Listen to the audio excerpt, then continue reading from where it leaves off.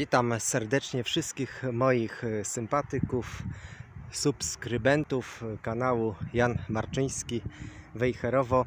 Jesteśmy dzisiaj na terenie cmentarza.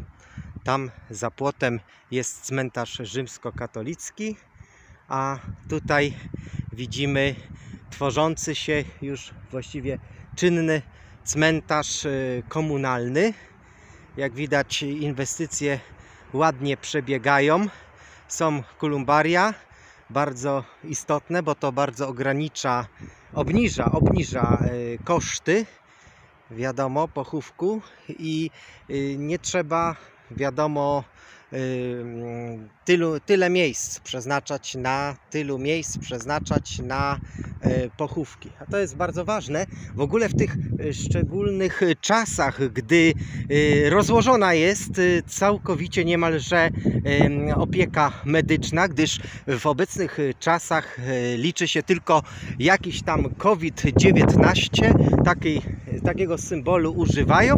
No i oczywiście w związku z powyższym nic innego, żadnych chorób nie ma, jesteśmy całkowicie chorób, tylko że szybciej nieco odchodzimy do świętego Piotra, dlatego te kolumbaria tym bardziej się przydadzą, bo to jest naprawdę oszczędność i to jest bardzo dobre rozwiązanie. Trzeba przyznać, że ci, którzy zadecydowali, podjęli decyzję o tych kolumbariach, bardzo dobrą decyzję podjęli. Jak widać miejsca jest i, i będzie, mimo że ofiar tego systemu będzie coraz więcej przybywa tych ofiar, wiadomo, wszystko to jest COVID-19, jak najbardziej trzeba mówić czasem zgodnie z propagandą obecnie panującą na przekór wszystkiemu, a my wszyscy, wiadomo, wiemy dokładnie jaka jest prawda, gdyż prawda zawsze sama się obroni.